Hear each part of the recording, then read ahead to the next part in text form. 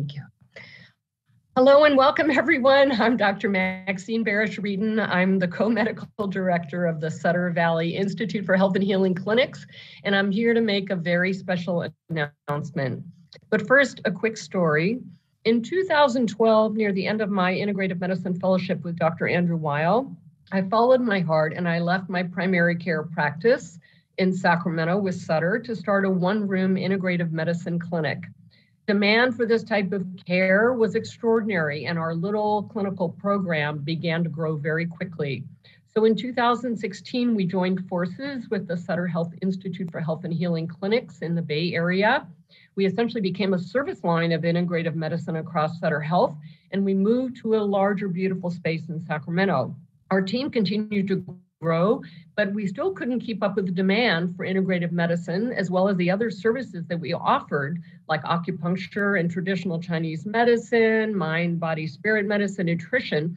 And we also saw demand for these services increase in our sister city, Roseville, California. So today, I am beyond proud to announce the opening of the Sutter Medical Foundation Institute for Health and Healing Lucchetti Vincent Family Center in Roseville, California. It's so important for us to mark this milestone because it took so many kind and dedicated people and hundreds of hours for us to achieve this event. We opened our new clinic on April 4th of this year with a beautiful healing lobby, eight calming and restorative treatment rooms, inspiring artwork throughout, a healing garden, an adjacent space for classes and talks. So we are delighted to launch our new clinic with an amazing and talented team of providers, including doctors Eric Hasid, Jennifer Griffin, and Babat Kanani, as well as our physician assistant, Marco Fiero. We also have two Chinese medicine specialists and acupuncturists, Mark Velez and Amy O'Donnell. Our wellness nurse coordinator, Kim DeFazio, will be helping us to launch our new wellness program and will also offer HeartMath and our health and nutrition coach, Lauren Henkel, is with our team as well in Roseville.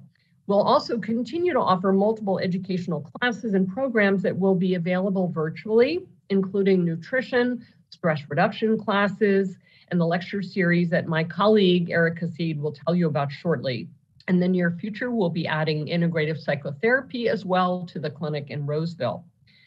The new Roseville IHH Care Center and our many programs would not be possible without support from our generous donors who helped us to raise $2 million to complete the Roseville Clinic.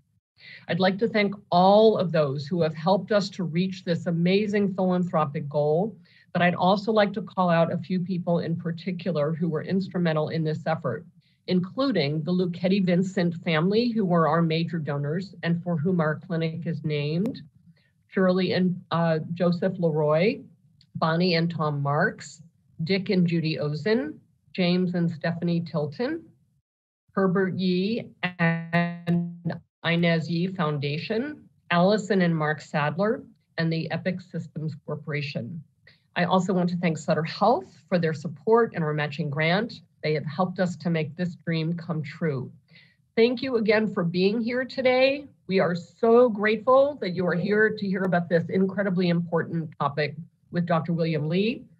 But for now, I'd like to introduce my co-medical director and partner in crime, Dr. Eric Hasid, and he will tell you about tonight's fabulous speaker. And then later on, our colleague, Dr. Akil Palanisamy, will join us for Q&A. Take it away, Eric. Thank you, Max. Welcome, everyone. And thank you all really truly for joining us for tonight's Healing Perspective Lectures with Dr. William Li. For those that are new to Sutter Institute for Health and Healing, I want to share a little bit more about the unique care we provide here. We at IHH believe that optimal health forms the foundation of disease prevention as well as disease management, and that addressing the following core factors are critical to achieving optimal health. And what are those core factors? Well, they're the four pillars you may have all heard about. We address nutrition and gastrointestinal health, emotional and spiritual health, exercise and movement, and sleep quality. In addition to the more traditional integrated medicine services, we in the Valley provide health coaching and a whole host of wellness services and classes that serve to empower patients to achieve their desired health goals. We collectively have integrated medicine clinics located in Sacramento, Roseville, San Francisco, Santa Rosa, and San Carlos. And they all offer a variety of services, including integrated physician care, mind body health, acupuncture, and at some locations, wellness programs with health coaching and classes and nutrition, and at other locations, chiropractic care and massage therapy. We offer free healing perspective events like this one multiple times throughout the year, with two more events coming this fall. We also host virtual classes to help you move from simple health education to action that can transform your well being. Um, I'm really excited that I'm able to offer a health, healthy living educational series. Uh, I'm not biased, but it seems to be that uh, actually people seem to be enjoying and really engage, and it's something I think people can truly benefit from. On June 8th, um, from 12 to 1 p.m., I will be hosting the Sleep and Your Health class, which is one of my six part wellness series. Many people do, may or may not know, but poor sleep is often an underappreciated cause of many chronic illnesses. In, in this class, in an inclusive group setting, you will learn about common sleep disorders and how they can influence health and chronic disease. You will also learn how to optimize your sleep based on the latest research and practical advice. Each class is only $30. To learn more, scan the QR code, click on, click on the link in the chat, or call 916 887 4660. I truly hope you decide to join us. Please note, today's lecture is for informational purposes only. Everyone's situation is very unique, and we ask that you seek out professional advice for your specific medical needs and concerns. Now, a little housekeeping as usual. Before we get started, please know you can, you can access this you can access this talk directly from this event on the YouTube link in the chat. Many people learn best by watching and listening to our talks first, then returning to the recordings to take notes. If you are joining us via our YouTube stream today, you will not be able to participate in the chat box, questions, or Q&A. Now on to our wonderful speaker. Now I'd like to introduce our speaker, Dr. William Li. He is a world-renowned physician, scientist, speaker, and author of Eat to Beat Disease, the new science of how your body can heal itself. He has appeared on Good Morning America, CNN, MSNBC, NPR, Voice of America. His thought leadership has been featured in The Atlantic, Time, and the New York Times, and published in over 100 top scientific journals. Now it is my sincere honor to welcome Dr. William Li.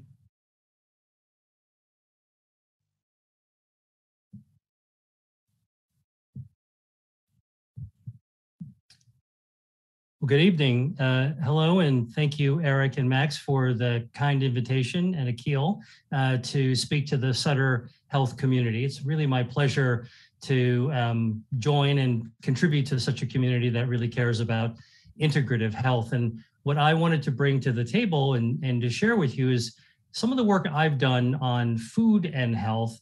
And what I hope to show you in this uh, this evening's presentation is that some of the things that you may have actually thought of when it comes to food and health may not actually be what the science actually shows. One of the big things that we all um, struggle with when it comes to nutrition is not only to kind of um, uh, uh, figure out what our own individual needs are, but how to actually find trusted voices, uh, because there are so many people that talk about uh, food and health, and uh, and you've heard about superfoods and super supplements, and uh, like myself, it's sometimes difficult to kind of pick your way through what seems to be uh, too good to be true versus what the science actually tells you. So, what I'm going to tell you is that by the end of this presentation, hopefully, you'll be able to walk away with some science that actually is practical uh, so that you can take some action steps. So, uh, with that, um, I wrote this book called Eat to Beat Disease, uh, and um, it actually uh, what I'm going to talk about this evening is actually the research that went into writing this book. This wound up becoming a New York Times bestseller. It's pub- it's translated into 20 different languages. Uh, and for anybody who wants to learn more about the specific foods that I'm going to be talking about, there's many more foods, many more tips, and also recipes uh, that I wrote about. Okay, so we're going to get everyone involved a little bit now, and I think this is the fun part. I'm, I'm going to actually um, ask you a question, and uh, and then I'm going to ask you to uh, go into your chat uh, and answer. So what I'd like to ask you Uh, it, um, it's my statement, and you're going to answer true or false. Okay, so the question is this nitrates in food are bad for you, true or false? Nitrates in food are bad for you, true or false? I see a lot of truths. Go ahead and keep putting those answers in. Let's see what everybody's talking about. True, we've all heard about uh, nitrates. There's a lot of information out there. Um, let's see there. I see one false. Uh, okay. Well, let's take a look through. Um, let's take a look through what uh, the answer actually is. The answer is false.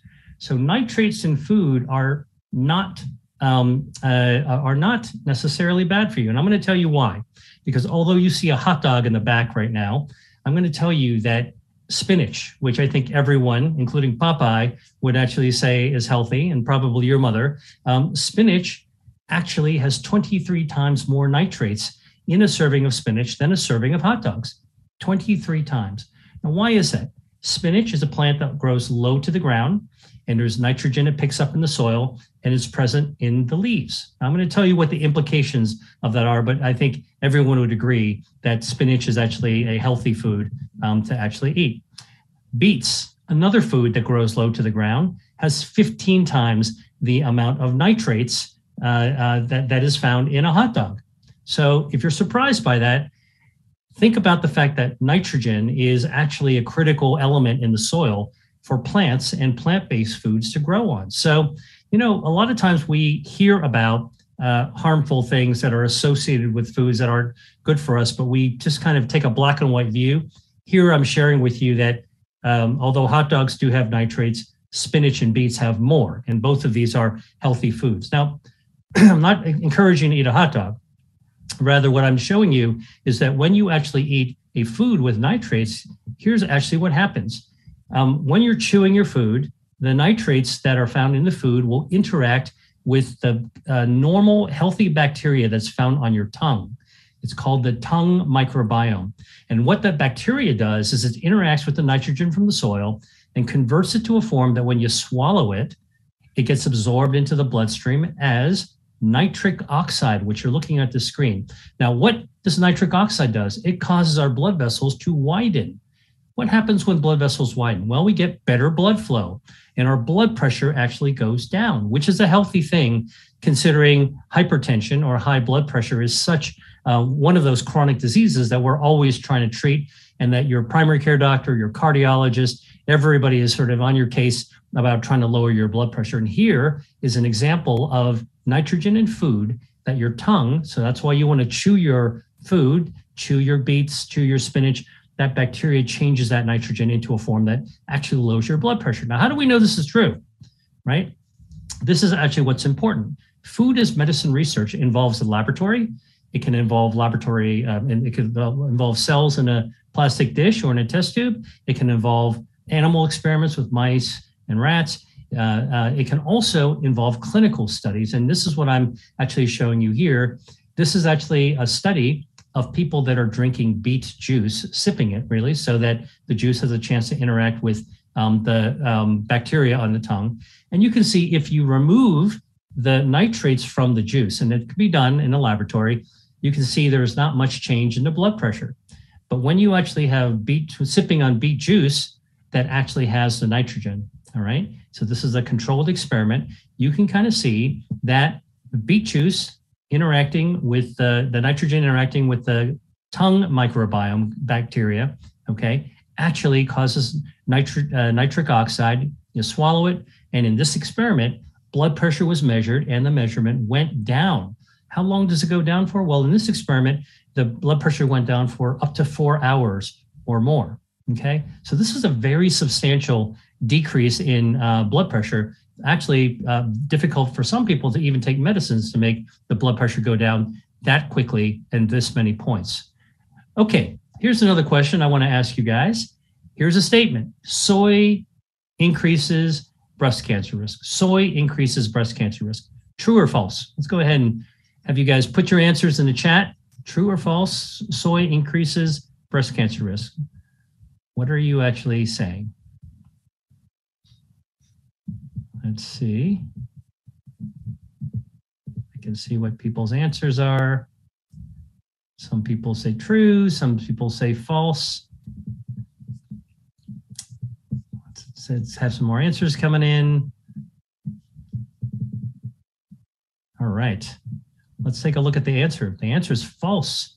Soy does not increase breast cancer risk. Now, that's a big statement because even the medical community, if you talk to breast cancer surgeons or uh, genetic counselors, or you talk to primary care doctors, many physicians even quote this that soy increases the risk of breast cancer. Well, it's interesting because if you um, look at Asia, where soy is a basic food, and you go to Japan, you go to Korea, you go to China, you go to Vietnam, and women there also get breast cancer. If you ask them what if they're advised to stop eating soy after receiving a breast cancer diagnosis, they are not told. They are not told.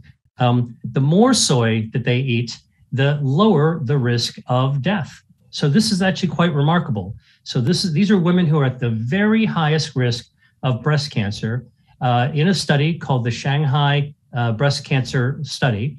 5,000 women with breast cancer who are the survivors. They follow them for a number of years. And in this particular study, those women who ate more soy had a 29% reduction in the risk of death and also a 32% reduction that the breast cancer would come back.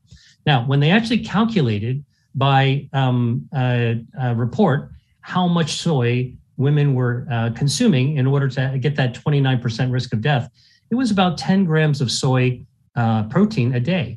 So let's take a look at how much 10 grams of soy protein is. Well, these are some conversions. It's about a cup of plain soy milk, a cup of edamame, uh, half a cup of tempeh, half a cup of black soybeans, about a sixth of a cup of roasted soybeans. So these are easily achievable amounts of soy. This is not a recommendation uh, to eat soy, but really a presentation of the research of what we're doing in food as medicine that is really eye opening because this actually starts to really carve away at all those confusing facts that we always hear. Now, oh, Dr. Li, uh, could you please share your screen again, please? Thank you. Okay. Sorry, I don't know how I got kicked off. No worries. Yeah, just share the. Yeah, um, great. Let's see. Sorry, did you guys see that last data? Did you see the? No, slide? we're just seeing it for the first time. Thank you. Okay, great. Um, did you see this slide? Nope. Okay, so what I was saying is that um, I'll just quickly uh, recap.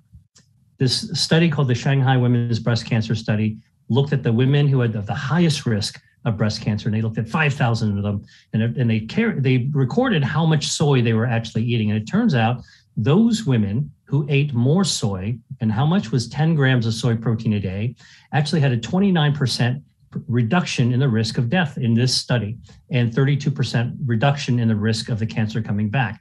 So, really eye opening. And what I was doing was explaining uh, uh, how much 10 grams per day of soy protein is and is easily, readily achievable amounts of soy protein. So, it's really quite amazing uh, that uh, in food as medicine research, we're able to look in the lab and see that um, uh, what soy actually does, and which I'm going to show you in a moment, but also um, to take a look at what the clinical study is, because at the end of the day, the rubber that meets the road is what actually happens in the clinic. Now, why does why did this why did this urban legend of soy being harmful even come about? Well, we do know that soy uh, beans actually contain a phytoestrogen Phyto means plant, plant estrogen, and it's called genistein, and there's a few other ones as well. And the real question is, should you should people be, be eating this? Should women be eating this phytoestrogen? Well, what's really interesting is if you compare the phytoestrogen to the human estrogen, phytoestrogen on the left, human estrogen on the right, I don't think that you need to be a chemist to appreciate that they don't look anything alike. They're not the same chemical. All right. In fact, the phytoestrogen, the soy estrogen, blocks the effect of the human estrogen. Some people have actually remarked it to be similar to like a plant based tamoxifen, which we do prescribe for women who actually have breast cancer. So, again, it blocks the effects of human estrogen. So, how did this rumor come about? Well, like many things in nutrition, a well intentioned person uh, understood that human some human breast cancers are responsive to estrogen, can be driven by estrogen. And then when they saw that plants have a phytoestrogen, they automatically made that connection. But as I showed you at the very beginning from the human studies, in fact, it's not true. And now I'm showing you the chemical reason why it's not true. In fact, plant estrogens block the effect of human estrogens. Now, of course, a critic would say, well, Dr. Li, you just showed one study. Uh, uh, and of course, one study needs to be replicated by other studies before I'll believe it. So here is what we call a meta-analysis. And on the left-hand column is a list of 14 clinical trials in humans looking at uh, women with breast cancer and eating soy. And that one, dotted line in the middle basically divides the results of these 14 studies into whether or not eating soy caused more death, which would be on the left, or more survival, which is on the right. And you can see out of 14 studies, in every single case, eating soy leads to more breast cancer survival. And in no case does it re- result in more death. Okay. Again, this is science, this is clinical studies. This is what we're doing in food as medicine is really cutting through those urban legends. All right. So hopefully I've left you with something there. Now let's actually ask a really important question, right? Because hopefully I've made you scratch your head a little bit to say, wait a minute, I thought I thought nitrates in food was bad. And how come that's not true? well, I can tell you that the amount of nitrates uh, or the kind of nitrates and the kind of other preservatives in highly processed meat are not good for you, but the um, plant-based nitrates actually are perfectly fine. Um, we talked about soy. So wait a minute, I you told me that soy is actually not harmful for you. In fact, might even be good for you, uh, based on the clinical research. So this really, I hope, um, opens your mind to ask questions. And although we are going to talk about diseases this evening, I want to ask you an even more profound question. Okay. And that question is what is health? So um, let's go ahead and have you uh, uh, uh, go ahead and type in some of your uh, question, uh, your answers in the chat. What do you think health is? You know, I, I used to ask this question myself when I was in medical school, trying to figure out like, all right, what is what is actual health? right? So is it absence of disease? Is it um, vitality? Is it clarity of mind? I mean, the answers are pouring in, and um, and and I'm going to actually tell you that although every individual's definition of health for themselves is maybe different and should be different, because we're all unique individuals, and that's one of the important uh, aspects of integrative medicine is really not trying to copy paste or try to put everybody into a single formula, but really trying to include the individualism. But I will tell you, as a researcher, so I'm an internal medicine doctor, but I'm a vascular biologist. I study blood vessels. And as a scientist, I'm always trying to figure out well, how do you define something? Like, what does research tell us? Well, health used to be, to me, if I'm not sick, I must be healthy. So, health is the absence of disease. The reason that that's a, actually kind of a frustrating answer is that we all want better health, but actually trying to achieve something that is the absence of something else. Okay. That's like saying that wealth is the absence of poverty. I want to figure out how to get rich. Well, the absence of poverty doesn't give you any answers. It's not useful, right? So, uh, so I want to tell you that health is not just the absence of disease. That is one part of it, but health is in fact the result of our own bodies, human bodies, hardwired systems of health defense. So we actually have health defenses that are hardwired in our body. What do I mean by health defense? Well, I want to show you this picture. Most of you guys have seen a castle, if not actually having gone to Europe, uh, or, or, you know, uh, you may have been to Disney. Disney's got a nice castle as well. But of course, everyone you know who's grown up with fairy tales have uh, seen pictures of castles. And if you look really closely at a castle, there are lots of different elements of castles that are designed for defense. In fact, almost every aspect of the architecture of a castle is intended for uh, defense. So let me just kind of share with you a few. Look at those slits in the column, uh, the columns. That's those are arrow slits for people to fire arrows at invaders. The walls of a castle are slightly sloped, which makes it difficult for people to crawl up. And I'll show you. Here's the anatomy of what's what's going on. There's even uh, a bent entrance so people can't rush in very uh, hard. The spiral staircase in a castle, okay, it's interesting. It always goes up clockwise. Okay, why does the stairway goes up clockwise? Think about it. if you are uh, uh, if you are a, a, a knight in a castle defending it, most people are right-handed. So if you're standing defending it and you've got your sword in your right hand, you can swing downwards on a spiral staircase that goes up clockwise. If you're an enemy and you're right-handed, running up the stairs and clockwise stairs, it's much more difficult to swing up. Okay, so every aspect of a castle is is critically uh, designed uh, to be able to to help uh, defend um, all the citizens within. Well, the body's the same way, and I want to share with you the research I've done to look at what is are the bodies, the body fortress, our our our body as a castle. What are some of our health defenses? Angiogenesis, how body grows blood vessels um, uh, our regeneration, our stem cells that are in our body, our microbiome, our gut health, healthy gut bacteria. We talked a little bit about bacteria in the tongue, healthy bacteria. There's a lot more lower in the gut. Our DNA, not just a uh, uh, not just our genetic code, but actually our DNA is hardwired to protect us from the environment, from uh, ultraviolet radiation from the sun, from radon from the basement, uh, from off gassing from our carpet and our furniture and the new car smell, and even from the fumes that we would breathe in when we're pumping gas at the filling station. You can smell those fumes. You're standing downwind of the gas, and all those chemicals that we're breathing in are actually damaging our DNA. But fortunately, our body can fix itself as part of the health defense. And of course, our immunity. Like our grandmas always told us how important it is to have a good immune system. And certainly after the last two and a half years, we are very, very alert to how important good immunity is. So I'm going to talk about um, health defenses and talk about what they mean for uh, diseases. But these actually are really amazing because food, the food that we eat, can activate our health defenses. And that's what I'm going to show you. Now, I came uh, and worked on these health defenses and organized these five health defenses in a very honest way. My background is in biotechnology. I set out 25 years ago to help develop better treatments for cancer, better treatments for heart disease, ways to stop vision loss and blindness, ways to heal people who have diabetes. And what we did uh, when I worked with biotech companies, okay, is to look at these defenses angiogenesis. How do we develop a better angiogenesis drug?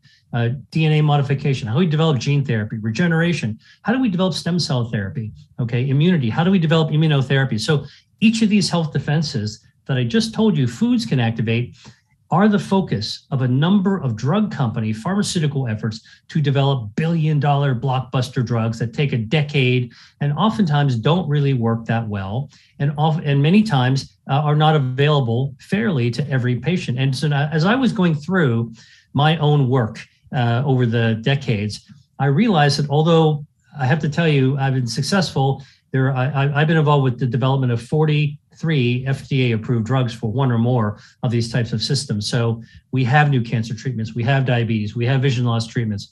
I'm still working on other ones uh, for heart disease.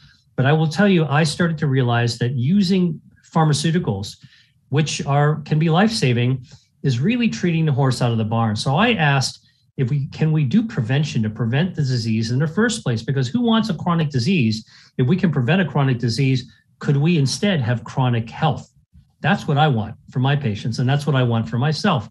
When you're talking about prevention, you can't really think about drugs. You got to think about things that are safe, available, inexpensive, like food. So here was the unfair advantage I had.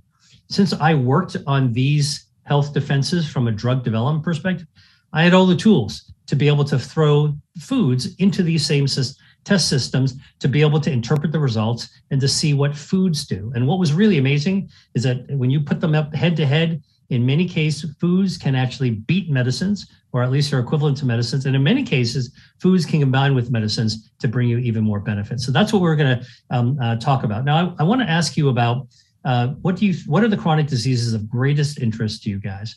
What are you interested in? Go ahead and put into the chat. What are some of the diseases that interest you? Go ahead and put put your own go ahead and put your own interest in. What are the diseases that you came to hear about that you'd like to know more about when it comes to food? Cancer i'm hearing i'm seeing um, heart disease cancer diabetes long covid um, asthma autoimmune disease parkinson's. Look i mean what what's flashing through like crazy like lightning uh, uh, in this uh, is exactly the things that concern me as well. Concern me as a as a family member. I've got family members who are afflicted by the diseases that you're entering here. Um, I'm also concerned about as a doctor. I take care of patients with cancer and heart disease and diabetes and uh, all those kind of conditions. All chronic diseases actually are crushing our healthcare system. Man, I would like to be able to get to a point where the main work that we do, the heavy lifting, is really helping people um, prevent the disease in the first place and to empower everyone to take charge of their own health. Why do you need to go to the doctor's office to be able to get the solution if food as medicine might be able to help you take command and empower you to actually be in charge of your own health. So that's what we're going to talk about. Before we dive into some of the diseases, I want to share with you um, some information from the CDC, the Centers for Disease Control. And these are, as of last year, the um, 10 leading causes of death. All right. Um, and not surprisingly, heart disease uh, is out there. Cancer is still out there. COVID kind of goes up and down, uh, hopefully going down now. And diabetes, you know, although it isn't a leading cause of death, it definitely is a leading cause, not a top like top five. It definitely is a leading cause of morbidity as well as mortality. People with diabetes, their quality of life is severely compromised. They have, they have vision problems, they have nerve problems, they have wound problems, heart problems, kidney problems. Anybody who's listening who um, knows somebody with diabetes understands how important it is to prevent uh, and reverse some of those uh, some of those shortcomings that that people that people with diabetes are struggling with. And I I think it's really important to to say these are people with diabetes. I don't refer to them as diabetic patients. All right, uh, patients are having diabetes and other diseases as well. So these uh, I put in the orange box. I want to share with you some of the work I've done looking at uh, how foods can actually activate your health defenses to combat some of these uh, diseases. Let's start with the biggie, the C word, cancer. All right. Everyone has been touched by cancer at some level in their family. This is like the, you know, that Kevin Bacon uh, game, Six Degrees of Separation. I would say when it comes to cancer, there's almost no degrees of separation or one degree of separation at most. But most of us know somebody directly that actually has been touched by cancer it's a word that actually generates fear even among doctors okay and and we are not immune in the medical community from uh, cancer uh, either but i want to share with you some important insights on that, what we have discovered about cancer recently and that is and, and that is that one thing that cancer needs to grow to become dangerous is angiogenesis angiogenesis is how the body grows blood vessels um, uh, angio blood blood vessel blood vessel uh, vessel genesis is growth one of our body's health defenses is actually to make sure they can grow enough blood vessels in the body and then stop, prevent diseases like cancer from getting extra blood vessels to selfishly feed themselves. What do I mean by that? Let me show you a picture. All right. Cancers hijack angiogenesis. So take a look at the far left uh, upper corner. There's this little gray dot. That little uh, tiny little ditzel is actually a microscopic cancer. Why did they form? Well, the human body is made out of 40 trillion cells that have to replicate, they have to copy themselves. And by the way, that's why we're here today. And that's why we're still going to be here tomorrow because our body is repeating itself, copy and pasting itself. Now, if I asked you to copy and paste something 10 times, you're probably going to do it perfectly. If I asked you to copy and paste something a 100 times, you'll probably do it okay, but you might make a mistake, mistake or two. Now, we're asking the body, the human body, to copy and paste, replicate cells 40 trillion times almost all in a day. Okay. You can imagine how many mistakes get made. I'm going to give you the answer. About 10,000 mistakes are made every 24 hours that lead to these tiny little microscopic mutation, mutated cells that are tiny cancers. So, in fact, children form cancer, adult form cancers, healthy people, athletes, everyone's got cancer in their body. It's like a pimple. And because you can't see it, it's microscopic. It can't get any bigger than two to three millimeters in diameter without a blood supply because no oxygen, no food, no nutrition. The cancer just stays there like a pimple. Now, think about it. If you saw a pimple on your face in the mirror in the morning, you might stare at it and want to get rid of it. But if that pimple grew in your back, and you couldn't see it, you wouldn't even know when it goes away. And that's really what we're beginning to understand about the biology of how cancer develops and how our body's um, uh, defense systems ward off its ability to grow. So the question isn't why did I get cancer? When you know that, that's a very common question that cancer patients ask.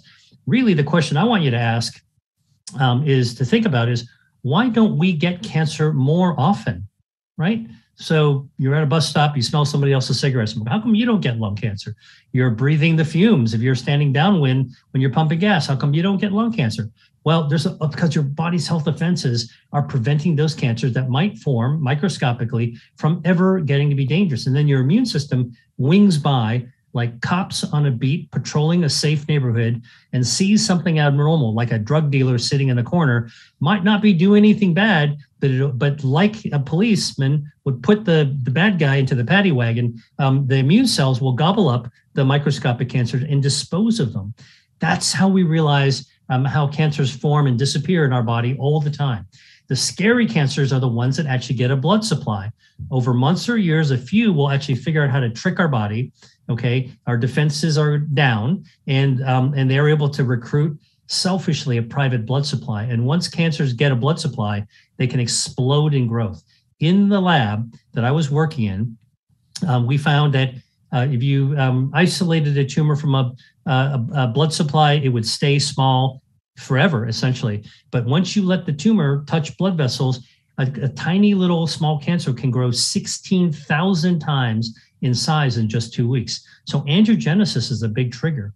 All right, what's interesting is that you can actually cut off the blood supply to cancer. This is part of the drug development work that I've done in the past. And there are now more than a dozen anti angiogenic drugs that starve cancers by cutting off the blood supply, more than a dozen pharmaceuticals. But guess what? There are foods that can actually do this as well. Remember, I told you I went from developing drugs to saying, could we throw some foods into the systems and see if we get a similar effect? and this is in a lab. So let me just give you an example of one food that can actually do that. Tomato actually contains a natural molecule called lycopene. Okay, it's a carotenoid. Uh, it's what makes actually tomatoes red. And uh, uh, lycopene, when you actually pick a tomato off a vine and, and chew it and bite it like and eat it like an apple or cut it into a salad, most of the lycopene is in a form that doesn't get really absorbed that well. You'll absorb 20% of it, 80% of it just go, goes out the chute below. Okay. But if you actually cook it, the tomato, the heat from cooking simmering tomatoes, like tomato sauce, will change that chemical structure into a form your body to absorb, like 85% absorption, which is exactly what we want for lycopene. Now, I took lycopene and I went to the lab and we tested in a system to see if it would stop those blood vessels from growing towards a tumor in the lab. And indeed, that's exactly what we found. Lycopene was a potent anti-angiogenic cancer-starving molecule. Okay, really quite amazing. Um, uh, and in fact, there are research publishing publications on this, so I'm not the only person that's done it. I, I did the work back in 2010. Two years later, other people replicated it, so this is a repeat um, uh, of the work that we had done. Very important. The British Journal of Nutrition, highly credible journal. Now, remember I told you rubber meets the road is actually what happens with people, and here we are. The health professionals follow-up study. It's a massive study, more than 40,000 men studied over 20 years, and they looked at nutrition and cancer outcomes. And what did they find? They found that those men who ate two to three servings of cooked tomatoes, that's tomato sauce, per week. Now, how, mu- how much was a serving? Half a cup of cooked tomatoes. Okay, now think about it tomato sauce. If I gave you only half a cup of tomato sauce for your pasta, you'd probably come back and ask me for a little bit more. All right, so not much. Again, readily attainable amounts of food Eating tomatoes, tomato sauce with lycopene in a form you could absorb was associated in more than 40,000 men with a reduced risk in this study of developing prostate cancer by 30% by cutting off the blood supply to prevent cancers from actually growing up. And in fact, they looked at the people who did develop prostate cancer because look, 30% didn't get it, 70% did. They biopsied the prostate and they took a look, and here's what they found that those men who did develop prostate cancer, when you biopsied their prostate and you compared uh, uh, how aggressive the cancer was, how many blood vessels are feeding the cancer, those uh, uh, men who had more tomato sauce um, per week over the course of the month actually had fewer blood vessels. All right. This is anti angiogenic seen in pathology in a research study that really makes a very strong case and that's really why this was published in the Journal of the National Cancer Research, the Journal of the National Cancer Research Institute, um, that um, that foods, the foods that we eat, actually can have a meaningful correlation with uh, diseases that we care about. So for men, prostate cancer. Now there's a there's a similar study for women in breast cancer, and the reduction was almost about 40% in a clinical uh, study looking at association. Now, remember I just told you uh, about uh, cooking the tomatoes. This has been studied too. How long do you have to um, change a tomato to so that it's available? Well, you know, you actually uh, get better bioavailability um, by simmering at 190 degrees. That's simmering, not boiling. 212 is boiling. And two minutes, you've actually converted about half of what you want to do. At three minutes, you've really transformed a lot. You get a lot more bioavailability. You've really kind of supercharged it. Now, we've actually studied this in the human body as well. If you cook tomatoes in water, right? I, I don't know who cooks tomatoes in water. I cook my tomatoes in olive oil if I'm making a sauce. But then you would actually take a look um, uh, at the, uh, the temperature will go up, lycopene will be changed, it will be absorbed into the bloodstream. But then you compare how much is, of, is of lycopene is in the blood from tomato sauce cooked in water compared to olive oil. The oil actually has a lot more. Now, why is that? About three times three times more. It's because lycopene is what we call a fat soluble molecule. Lycopene um, is kind of like soap. It doesn't dissolve very well in regular water, but it'll dissolve in soapy water. And when I say fat soluble, I mean it doesn't like to dissolve that easy, readily in regular water, but it'll dissolve in oil really easily. So tomatoes and olive oil simmered over a period of time. What is what is that? Mediterranean cuisine. All right. So Nonna was right when she said, you know, have my pasta with my tomato sauce. Um, it's actually cooked in a healthy way. So this is again, food is medicine. We can actually study it, um, not just looking at the food to say, here's my superfood. We're actually able to study the food, ask what's in it, look at the human, look at that, and, and see how do we study that and look at the correlations. This is really what food is medicine is. I'm actually one of the people that not only um, uh, talks about food and health, but actually does the kind of study as well. By the way, what kind of olive oils um, do you want to use? Because olive oils, olives contain healthy, anti-angiogenic, cancer-starving polyphenols. One of them is called um, hydroxytyrosol.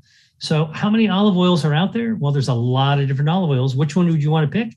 One olive oils from one of these three olives.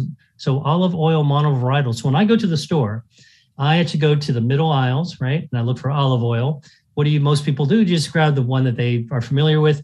Here's what I do. I pick up each of the uh, bottles and I look at the side and I look for monovarietal to see if there's any. Um, uh, it tells you what type of olive the olive oil is pressed from. And these three, Moraiolo from Italy, Koroneiki from Greece, and Picual from Spain, the Koroneiki and, and Picual, Greek and Spanish olive olives are quite common. So you can find those in almost any uh, uh, food store you'd go to these days. Um, that's the kind that I used to simmer with my tomatoes because I want extra polyphenols actually from the olive uh, oil as well. So again, um, think about how we know the Mediterranean cuisine is actually healthy. Now we're getting down to the science of it as well. Oh, what about the tomatoes? Is there a tomato that's got higher amounts of lycopene? Absolutely. San Marzano tomatoes, uh, cherry tomatoes have a lot of lycopene. Those black tomatoes that only appeared on the market in the last few years, a lot of lycopene. And, and ironically, tangerine tomatoes aren't red. They don't look like they'd have a lot of red lycopene dye, but they already have the lycopene in a form where it's chemically transformed. You don't need to cook those. If you eat, eat those like an apple, you'll get a lot of lycopene absorbed. It's already got the the chemical form of lycopene your body can readily absorb. So if you want to make a salad, make, and you want to get that lycopene, make it with a tangerine tomato, which is this kind of yellowish tomato. So again, you know, a lot of people talk about food and health in kind of like a textbooky sort of way, preachy sort of way. I love to talk about it in a way that we can all relate to because we're going to the store. Summertime's coming up. We're going to see a ton of tomatoes. Which one are you going to pick? Hopefully, you'll think about this um, uh, presentation. Now, a lot of foods with anti-angiogenic activity. Please um, come to my website. Uh, sign up for a download. I'm going to have a gift for you at the very end, um, or buy my book. There's tables and charts. These are all the foods that we have studied with anti-angiogenic, cancer-starving activity. Um, and you can look at it on the replay to take the notes. Let's talk about heart disease, number one killer of men and women. What happens in heart disease? Well, I mean, there's a lot of different kinds of heart disease, but the ones that I want to call your attention to are the ones that are quite common and you know and that affect a lot of people. It's blockages of blood vessels that impair blood flow. So you don't get good blood flow. That leads to heart attack when the uh, when the vessels are narrowed, or can lead to stroke, or it can lead to peripheral arterial disease. This is something where you know you don't get good blood flow to your legs. Really hard to walk. You know, take a walk in the park, or walk in the mall, or walk to the store. You, you'll get a cramp because you don't have enough blood flow. You got to sit down and rest. Peripheral arterial disease, when it gets bad enough, you know your your skin will break down you'll get a wound an arterial ulcer that can get infected and it's a common cause of amputation in people with vascular disease worse if you uh, if you're a smoker because of the vasoconstriction the blood vessels are clamped down. All right. So what could we actually do to grow blood vessels? I just told you about cancer cut off the blood supply. Why don't we grow blood vessels? Well guess what? There's research on foods that can grow blood vessels too. Now um, uh, by the way, I want to I'm going to come back to this for a second, but I'm going to remind myself now to tell you why one side is not going to screw up the other side. Barley has something called beta D glucan in it. It's a natural chemical. You can make pasta out of it, actually, barley pasta, and it's been studied in the lab. And guess what? When you feed animals that have um, uh, blockages in their heart, um, pasta made with barley that has beta D glucan, beta D glucan stimulates angiogenesis helps the body grow blood vessels, not to tumors, only to where it needs it in the heart, for example. And this has been shown. When you look into the research study, I'm not going to have take the time to walk through the study with you. Just look at the bar, the, the bar charts.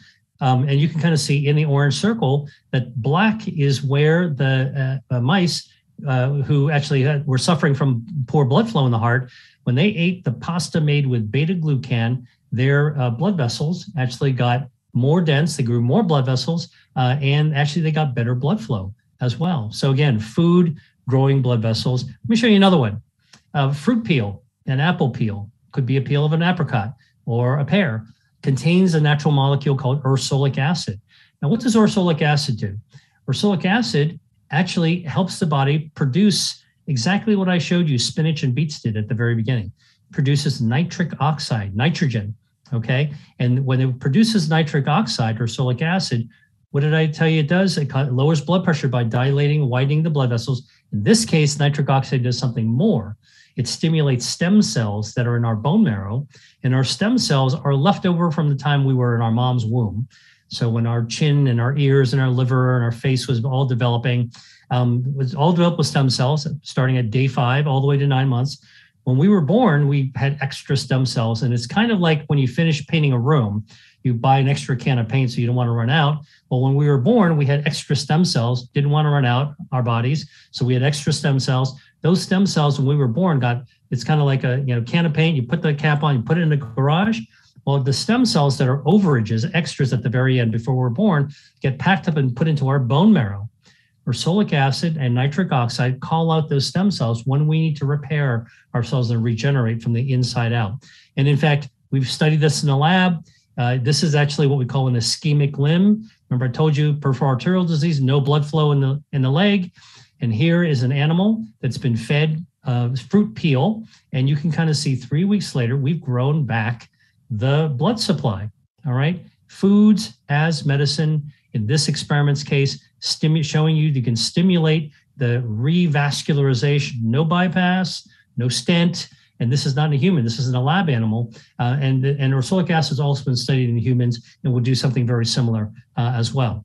And these are stem cells that are doing. So these are um, uh, angiogenesis stimulating foods. Um, and I wanted to tell you, so if you give a cancer uh, starver, like a, a anti-angiogenic food, like a tomato, um, are you going to cut off the blood supply to your leg? Nope. Heart? Nope. Because your body's health defenses can block the effect of foods only to a certain point. So it's kind of like a, a lawn. If you were the, a landscaper, you're responsible for a lawn. You need the perfect layer of grass. If it's too high, you'll mow it down. That's anti-angiogenic, cancer-starving food. But if you have a bald patch where you need more blood vessels and you need to put grass seed on to grow the blood vessels up, um, that's exactly what these angiogenesis stimulating foods do. And if they grow too tall, guess what? Your body will mow down the overage so you won't actually get into trouble. So that's how food, like medicines that I've helped to develop, we can punch through the body's defenses because medicines are they're the blunt instrument. They're like the they're they're taking the cannon out. Foods are kinder, gentler ways to help our body's health defenses work. Let's talk about diabetes. Now, diabetes is not one disease, actually, although we code it that way as doctors. I'll tell you, diabetes is a lot of different diseases with a lot of different problems. We try to put an umbrella name on it. But I want to share with you one thing that we do know about diabetes. Okay, so I, we're not going to have time to go through every problem that diabetic uh, patients have, but let me share with you that in diabetes, um, you know, the heart is affected, the kidneys affected, the eyesight's affected, the brain can be affected, nerves are affected. Well, it turns out that um, one of our health defenses, which is our stem cells, that remember those that overage that gets packed away when we're born, our stem cells are naturally, normally regenerating us from the inside out. Again, silently, we're sleeping, and our stem cells are, you know what? Let's replace that part of the liver that doesn't look so good. It's kind of like, you know, the stem cells are like the the the the people that are continuously manicuring uh, your your your your garden uh, and your lawn and your property. Uh, you know, you don't even have to worry about it. They're they're taking a look to say, you know, let's go ahead and put a another one there, and and so uh, we can, and it helps us regenerate. Our livers can regenerate, our tip of our lung can regenerate, our nerves can regenerate. Okay, uh, and we're beginning to realize that parts of our heart can regenerate, and even our brain can regenerate, just only too slowly. Now, what happens, and that's normal, healthy people uh, who do not have diabetes. What happens in diabetes? Well, we know that uh, number one, as we age, we start losing some of the potency of our stem cells. So our stem cells just get a little duller as we get time. Think about their flashlight with a battery. Okay, got the battery a long time. You've used the flashlight a long time. It's a little dimmer. You go go go, go outside with a walk on your street at night after after dark and the bulb isn't quite as bright. And that's what happens as we age. So it's for that reason, a lot of people are, and these are some of the diseases that stem cells seem to be impaired Alzheimer's, macular degeneration, osteoporosis, a lot of different ones, including erectile dysfunction. Well, and, and that's the reason why, from the biotech perspective, so many people are trying to develop stem cell therapy. Now, I'm not talking about, I've, I've been involved with this. I'm just telling you, this is not the corner strip mall where you get your knee or your uh, elbow injected or your shoulder injected. I'm telling you, as somebody who's done, been involved with stem cell therapy, it's not ready for prime time. Uh, we know it works. It just, we haven't figured out how to make it work well enough for the FDA to approve it. So it might, it's going to take some more years to work on it. But guess what? Food and, and foods can actually work on it. So diabetes, we also know now you take aging, and you put diabetes on top of that, we know in uh, patients with diabetes, in this case, uh, comparing 40 patients, 20 of them had no diabetes, 20 of them had type 1 diabetes, and you just measure their stem cells in their blood. This is actually a research uh, uh project that was actually done at Vanderbilt University, and you just measure it, and you can see that diabetes actually leads to um, uh, uh, decrease in stem cells. Now, foods can reverse that defect and what are some of the foods? Well, omega 3 fatty acids, which you can get from oily fish, all right? Um, salmon, sardines, uh, anchovies, but actually, even shellfish contain omega 3 fatty acids, um, can actually restore the defective stem cells that are found in diabetes. Okay, it's really quite amazing that uh, something you can eat can actually kind of turn back the clock and give stem cells more energy. And again, you know, these are uh, this is not about treatment. This is really observing what actually happens. In diabetes, you get stunning of the stem cells. Diet, you can actually reverse the function of the stem cells. This is food as medicine research, all right? Not a recommendation. I'm sharing with you as a scientist and as a doctor working in this field what we're actually seeing. And, and yet, you know, we do know that eating seafood is a, one of the healthy uh, uh, proteins, um, uh, sources of protein uh, that you can have. What about plant based? Well, here's one. This is actually a cacao pod. This is dark chocolate is made, chocolate cacao is made from this. It's a, um, a plant based food. I'm not talking about the candy bar. That's a confection. It's got added sugar, it's got fats, unhealthy fats, it's got all kinds of chemical preservatives. I'm talking about 85% dark chocolate. It's bittersweet, mostly bitter. Okay. Um, what's really interesting is that clinical studies have been done looking at um, uh, people with coronary artery disease. These are men in their 60s who have coronary artery disease. They have heart disease already, and some of them have diabetes as well. And at the very beginning, you measure how many stem cells in their bloodstream. Remember, the stem cells can help uh, um, uh, regenerate uh, the blood flow, the, the endothelium, the lining of the blood vessels. So you give them two cups of hot cocoa a day to drink. And the hot cocoa is made with high flavanol cacao, so dark chocolate, 85% or higher, twice a day. And a month later, you measure their stem cells all over again. And guess what? You can have up to a twofold increase in the number of stem cells that are in the bloodstream. Now you actually measure blood flow. When they used an ultrasound to measure the blood flow in their arms, they also found that they had up to two times the improvement in blood flow as well food is medicine research with foods that most people, you know, most people don't uh, hate chocolate. And this is really interesting. But again, it's dark chocolate and it's the polyphenols uh, that are in it. So there's lots of foods that can stimulate stem cells. And again, uh, I have lists and tables in my book uh, uh, as well. And if you come to my website at Dr. William Li, Dr. William Li, Li.com, you can sign up for my newsletter. I'm putting out new information all the time for free really talking about foods, more foods that are being discovered every week that actually in, influence and impact uh, on uh, these health defenses, including our stem cells. I want you to notice on the right hand column at the second to the last, squid ink, black pasta also protects stem cells, which is pretty cool because if you've ever had black rice in Spain or uh, um, black pasta in Italy, it's pretty tasty. Um, uh, the squid uses that ink in order to escape from predators, and it's edible. It's got its really briny taste, um, and it actually protects stem cells as well. So again, I, I think it's really amazing when we're actually discovering all the things that foods can actually do. Now, there are patterns that enhance stem cells uh, that of how we eat, and patterns that can harm stem cells. And I think what's really important is that the things that harm stem cells are the things we already know: too much fat, unhealthy fats, too much salt, hyperglycemia, too much sugar. So, one reason to stay young and to really stay, allow your body's defenses to help regenerate your health, continuously maintain and regenerate your health, is to eat healthy patterns of food that you can see on that left hand side. Now, diabetes also impairs immunity. Remember, I told you that you want to boost your immunity. So, this is a really interesting study um, that was done looking at people getting flu vaccine and whether or not um, uh, having broccoli sprouts that contain uh, isothiocyanates. These are sulforaphanes, same as in the adult broccoli, but more concentrated. If they had the flu vaccine and broccoli sprouts, what would happen? And so this is a study from University of North Carolina, uh, in, in, in, Switzerland, at Basel, and, and Stanford. Took 29 healthy volunteers. Everybody got a flu vaccine. Half of them actually got two cups of broccoli sprout shake. All right, it's a shake that they had in the morning, and they measured for four days. And guess what they found when they looked in their blood?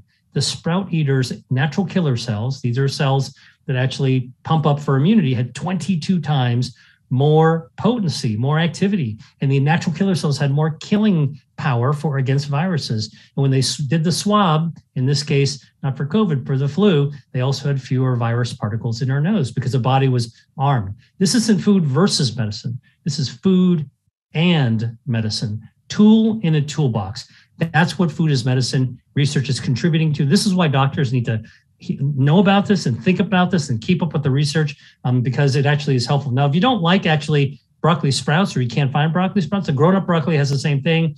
Let's say you don't like to eat the, the trees or the stem. Um, guess what? I tell people go ahead and make a broccoli soup, a broccoli stem soup. Um, I've made one with a little oregano powder, um, really amazing flavor. Uh, so the key is always to find a way to make foods that are good for you taste great. Now I'm just going to close by talking about long COVID because I saw some people uh, saying that they were interested in it. So from the at the very beginning of of, of the pandemic, there were some people that actually said that um, uh, th- there were some there were some folks that actually um, uh, wound up being at risk for COVID because they were in uh, Wuhan, China, for example, and uh, they wanted to find out like who was going to go on to develop COVID and who wasn't going to get COVID, because not everybody got COVID.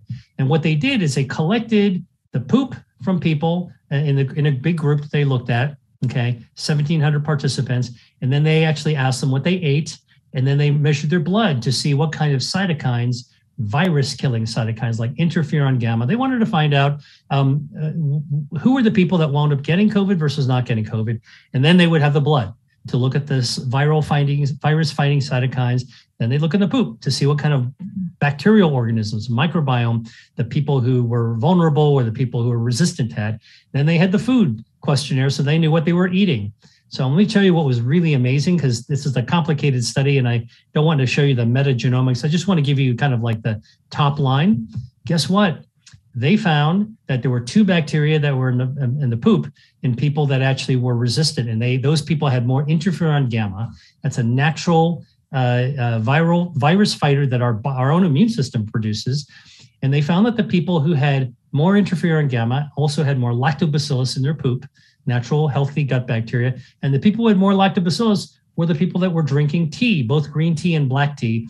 What do they have? The tea has catechins EGCG. Okay, uh, these tea catechins, uh, they were drinking more green or black tea. They had more lactobacillus, they had more interferon gamma, and they had less COVID. This was at the very beginning of the pandemic, and I want to say July. We started to make these discoveries. So uh, I'm not going to give you any like recommendations. I'm just telling, sharing with you information that we've discovered um, that really is, is mind-blowingly uh, important because you know at the at, in the middle of the pandemic when everybody was locked in we had no vaccines, we had no antivirals. The doctors didn't want to see you, uh, and the hospitals had nothing to offer other than a ventilator, you know, and then throw in the kitchen sink. And we lost a lot of people that way. And everybody had to eat. And so, and so one of the questions I asked during the, all throughout the pandemic is, what should we be eating? What are the things that can help in, improve our immune system? Interferon gamma, a virus killer. Now, the other thing that was discovered is that um, uh, there's another bacteria that where people also had a lot of interferon gamma, called ruminococcus. Now, ruminococcus is, is grown by dietary fiber. And so they looked at what were the people eating? Dietary fiber, plant-based foods, uh, uh, including nuts, tree nuts, walnuts, pecans, pistachios, macadamias. They all have dietary fiber. People who had more interferon gamma had more ruminococcus. People who had the ruminococcus were eating more dietary fiber or omega-3 fatty acids. So again, this is kind of the food as medicine research. Now I'm going to do a deep dive because these are association studies. Turns out once you dive deeper, and again, this is a parallel world. Like some people are developing vaccines, some people are developing antivirals like Paxlovid. Now other people are actually studying the impact of food. Turns out that kombu, which you find in Japanese food, which is made from seaweed, kelp, a kind of kelp, that you find in your bowl of miso soup at the Japanese restaurant, that black square that's floating around that you can kind of down in one gulp, that is kombu. Inside there is a sulfated polysaccharide. It's kind of a Mother Nature's kind of sugar molecule that actually interferes with the binding of the coronavirus to human cells. Pretty amazing, right? So, food is medicine research. And in fact, they studied this, and I don't have time to go through all the details, but kombu extract with the sulfated polysaccharides actually showed that they could interfere with the binding site of the coronavirus to human cells. And when you compare the graph, look at the graph on the left with the pink line and the blue lines. Uh, just look at the graph. I'm not going to explain all the details to you. It looks very similar to the graph of remdesivir, which is an FDA authorized antiviral that was used in the ICU at the beginning. So again, food is medicine. Can we use the same systems to study medicine, to study food? This is the future of what we're looking at in putting more tools in the toolbox of doctors, which includes foods, which is what patients are always asking about. Now, I worked on um, looking at what was going on with, with the circulation in COVID. And it turns out that with COVID, both acute COVID and long COVID, the virus, the coronavirus, damages your blood vessels, and you got to fix those blood vessels. So on the left is um, uh, uh, the lung of, of a normal person, and on the right is somebody who has had acute COVID. All right, they're in the hospital, and you can see the small blood vessels are disappearing. Okay, it, it, it really smokes. It reduces the number of small blood vessels in the body. Now let's take a look at um, long COVID, which is a, a strange uh, uh, condition of people weeks later, months later, sometimes for years later, still have difficulty and they can't breathe. They go to the doctor. The doctor says, ah, "There's nothing wrong with you let's get a chest CT scan, looks normal. So I'm actually doing research now to take those normal chest CTs and do a uh, artificial intelligence calculation so we can visualize the blood vessels. I want to show you this. Left is normal, right is acute COVID, middle is long COVID. Squint and you'll see that long COVID looks better than the ICU COVID, but it's not normal. So these people, if you have long COVID, you have an explanation. Your blood vessels may be damaged. And this is the kind of research that's going on. Now, why is that important? Uh, because we can calculate, by the way, how much that middle um, uh, uh, that middle individual, you can see that the small, middle, and large blood vessels. Just look at the um, uh, that. Just look at the top. These are the tiniest one, the little red ones. Only 48% of normal blood vessels. Half of the blood vessels are gone actually in this patient. Chest CT scan looks normal. Got to grow them back. How do you do that? Can we use angiogenesis? Can we use stem cells? Can we use nitric oxide? Could we use food? One of the things that I'm work, researching now is actually using Viagra, sildenafil, that brings that nitric oxide to actually help to grow back more blood vessels and stimulate stem cells. So there's a lot of work going on in that kind of direction for long COVID. So in long COVID, you've got problems with blood vessels. You need to have rege- better regeneration, and the immune system also seems to be acting up, overacting, causing autoimmunity and causing lots of inflammation. So in long COVID, we can take a look at the body's health defenses and say, is there a way that we can actually fix this using medicines, existing or to be invented, and very importantly, using foods, right? So this is another way you can try to think about your body and, and what ails it in ways of actually trying to right size your body's health defenses. So here's your action plan. Okay. Uh, after I told you a lot of stuff, I want to give you something to take home. And um, the, the first thing I want you to think about is that let food be thy medicine is a statement that was attributed to Hippocrates 2000 some years ago. So this idea, although I showed you the science, the idea has been around for a long, long time. So here's what I want you to do at home to make food your medicine. This is like my take home message for you. And in my next slide, I'm going to actually, I left you a gift um, that I prepared for you guys. So, three things, three very simple things. Number one, to make food your medicine, I want you to start with healthy food. I gave you a partial list. You saw it. You can watch this again on a replay. Um, you can see it in my book. I'm going to give you a whole list about in a second. Um, choose healthy foods that you already love. Take a sharpie, circle the ones that you go, man, I like to eat that one, and eat more of it. Because if you start eating the healthy food that you already love, that is healthy, you're already way ahead of the game. Number two, cut down or cut out foods that are harmful for your health. We didn't spend much time doing that because so many people actually talk about harmful food. So I didn't want to take up your valuable time this evening by telling you what you've heard from everyone else. Too much sugar, too much soda, alcohol, uh, too much red meat, uh, ultra processed foods, processed meats. You know what they are. Cut them, cut them down or cut them out. And then the final thing is to eat with moderation. All right. When we overwhelm our metabolism by eating too much, think Thanksgiving dinner, the second you go to. First plate, great. To go back for seconds, you heap up the plate again. Only two or three forkfuls later, man, you really regret what you did. You're listen to your body. Um, uh, you know, your your body uh, can't actually handle that. So there's a saying called hara hachi bunme. Stop eating when you're 80% full. That's a good rule of thumb. Eat slowly. Listen to your body. When you think you're going to be about full, eat more slowly, then stop. These are three simple ways to make food your medicine. Now, I want you to, um, uh, anybody watching this, please just take your cell phone, go to the camera, and this is a QR code. I've created a guide for you that actually contains lists of foods, some recipes, uh, and some facts that will allow you to actually um, download uh, for free uh, uh, uh, a, a guide that will build on everything you heard tonight that gives you more food and food lists and give you some more practical tips that I didn't have time to talk to you about. Um, this is also going to be in a replay. You're going to get an email with this as well. But if you, it's simple. I wanted to make it as simple as possible. Anybody watching this, put your camera to it, click on it, and you'll be able to get it as a download. Okay.